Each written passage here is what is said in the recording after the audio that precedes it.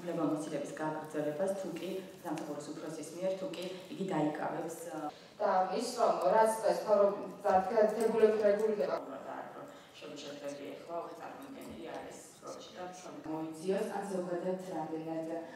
ეს შეხვედრაზე განიხილება შინაგან საქმეთა სამინისტროს რეფორმირების საკითხი.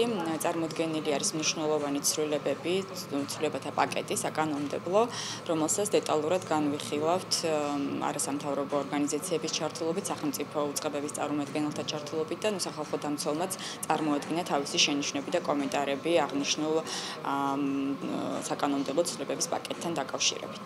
სახალხო დამცველი თვლის რომ შინაგან საქმეთა სამინისტროს რეფორმა არის ძალიან მნიშვნელოვანი და მიესალმება აღნიშნული პროცესის დაწყებას, თუმცა ვფიქრობთ, რომ ძალიან მნიშვნელოვანი არის სხვადასხვა მხარეების დაინტერესებული მხარეების ჩართულობით და ძალიან დეტალური განხილვით ამ საკითხების მოხდეს საბოლოოდ საბოლოო ფორმატზე შეჯერება, თუმცა ვფიქრობთ, რომ შინაგან საქმეთა სამინისტროს და უსაფრთხოების სამსახურების ფუნქციების გამიჯვნა და კანონმდებლობით ამის დარეგულირება იქნება წინ გადადგმული ნაბიჯი. შინაგან საქმეთა სამინისტროს რეფორმა არის ერთ-ერთი ყველაზე მსხვილი და მნიშვნელოვანი რეფორმა ქვეყანაში.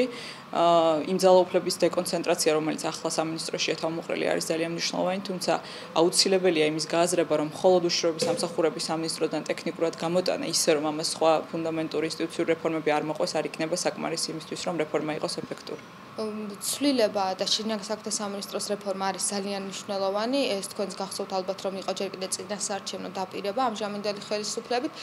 მივესალმებით იმას, რომ ხდება გაყოფა შინაგან საქმეთა სამინისტროს და უსაფრთხოების სამსახური, დადებითი არის ასევე ის, რომ პარლამენტის წინაშე ხდება ანგარიშვალდებული უსაფრთხოების სამსახური, თუმცა არ უნდა მოხდეს ფუნქციათა დუბლირება და ფუნქციები უნდა იყოს ძალიან კაცრად გამიჯნული.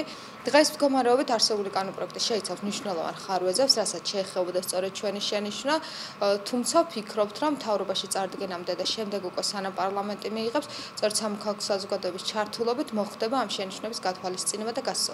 ეს ქონდა რიგით მეორე შეხვედრა არასამთავრობო ორგანიზაციის წარმომადგენლებთან და საერთაშორისო ორგანიზაციების წარმომადგენლებთან, რათა მათთან ერთად გაგვეხილა შინაგან საქმეთა სამინისტროს რეფორმებთან დაკავშირებული საკითხები. იცით თქვენ და საზოგადოება მიცის ამის შესახებ, რომ სისტემა ორ ნაწილად იყოფა, იქმნება სახელმწიფო უსაფრთხოების სამსახური, შესაბამისად მომზადებულია უკვე კანონპროექტიც და დღეს ქონდა ძალიან საქმიანი საგნობრივი კონკრეტული განხილვები.